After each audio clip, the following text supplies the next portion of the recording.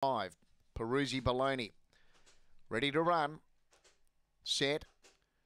Off they go, and missing the start, Emily Drummer, but first out, Puma Country, but it can't quite hold the lead, can it? Yes, it does. Bottled Fury had joined it. Peruzzi Baloney goes up wider now, and Victor Libby's there as well. Then Fire Starter Lady. Emily Drummer not in the race. Puma Country led on the turn. Leads from Victor Libby and Peruzzi Baloney. Puma Country, today is the day. Puma Country beats Victor Libby. Peruzzi Baloney third. Fire Starter Lady fourth.